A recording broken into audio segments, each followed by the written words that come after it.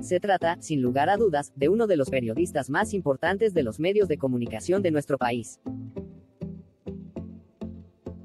Y es que Luis Novarecio ha sabido muy bien de qué manera consolidarse delante del público que lo acompaña desde hace ya muchos años. Sin embargo, en los últimos días es noticia debido a todo lo que se dice sobre su futuro y su posible salida de la Nación Más, donde deja desempeñado en estos últimos años. Fue en una charla con socios del espectáculo, el ciclo de Adrián Payaras y Rodrigo Lucich, donde se manifestó al respecto.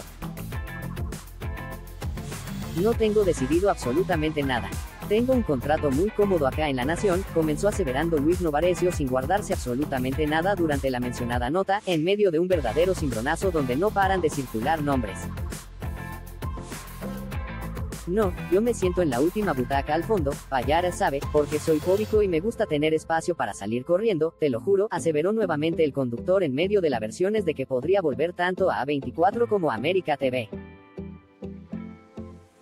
No, yo me siento en la última butaca al fondo, Fallar sabe, porque soy fóbico y me gusta tener espacio para salir corriendo, te lo juro. Yo trabajaría en cualquier lugar que me garantice hacer lo que hago acá en LN más que es decir lo que quiero, acotó el periodista.